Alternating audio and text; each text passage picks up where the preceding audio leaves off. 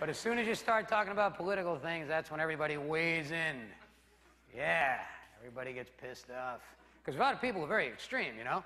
People are very sure about what they believe. You know, they're on the far right or they're on the far left of politics. And you know, if you're on the far right or the far left, you know what you've done now?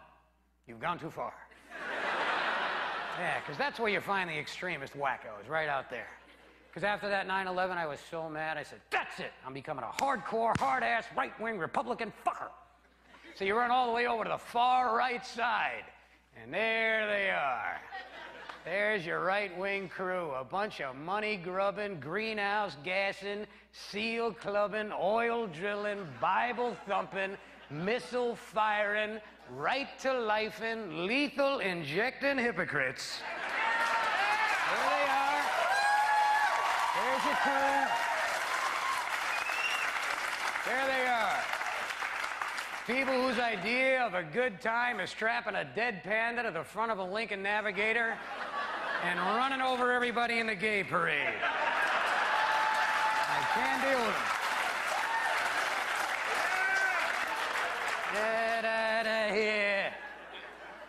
I'm going over here to the left side to be with all these loony lefty liberal people. And there's the crew.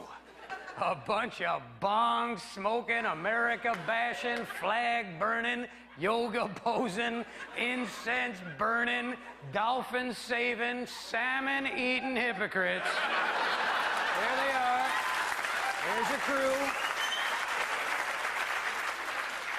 These are the sensitive liberal people who are always yelling about everybody's freedom of speech and expression. Unless you happen to say something that pisses them off. Then they can't wait to tie your ass to the back bumper of a Toyota hybrid and drag it to the Berkeley campus and drop your carcass in front of the Fidel Castro building for the continuing study of why America sucks. Lunatics. The only place it makes sense to be, I think, is a little more moderate in here, right? The centrist, the middle. Like me, yeah. Yeah. Bunch of flip flopping, fence sitting, half in, half out, half assed, non voting so they can bitch no matter who wins. Those are your guys.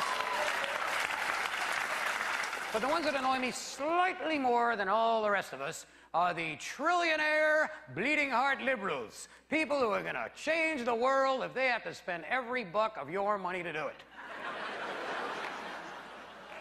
Limousine liberal people. People living in a mansion that's got 20 rooms that nobody's in, they're air conditioned.